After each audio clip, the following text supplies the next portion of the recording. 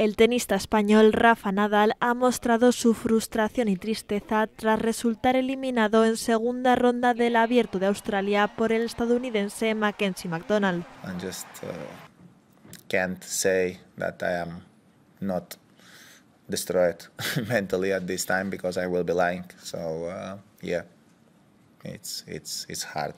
Así se pronunciaba el mallorquín a la vez que ha explicado que había notado algo en la cadera.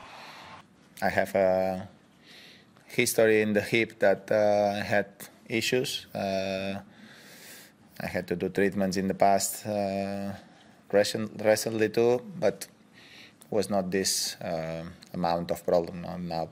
Nadal, fiel a su carácter luchador, decidió continuar aunque el físico no le acompañaba. No, I didn't want to leave the court uh, with a retirement.